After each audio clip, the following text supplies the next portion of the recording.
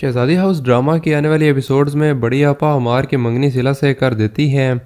रिश्ता कर देने के बाद उन्हें इस बात का पता चलता है कि सिला और हीरा भी बाकी सबसे मिली हुई हैं। ये सब मिलकर चाहते हैं कि शहजादी का रिश्ता किसी जगह हो जाए, उसकी शादी के बाद ही घर का बंटवारा हो सकता है।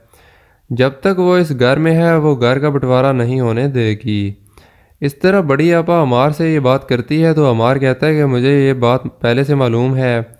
कि उस घर में कोई भी शहज़ादी का अच्छा नहीं चाहता।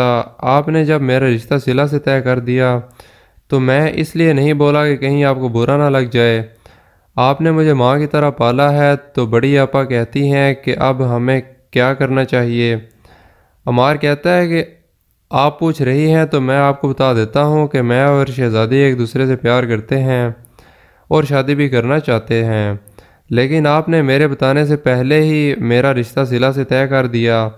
अगर आप मेरी शादी शहजादी से करवा देती हैं तो कभी भी इस घर का बंटवारा नहीं हो सकेगा। इस तरह बड़ी आपा अमार की मंगनी सिला से तोड़कर उसका रिश्ता शहजादी के साथ तय कर देती हैं। अबरार और उसके भाई को भी इस बात की बहुत तकलीफ़ होती है कि अब घर का बंटवारा नहीं होगा, लेकिन फिर भी इन दोनों की शादी हो जाती है और ये ड्रामा एंड हो जाता है।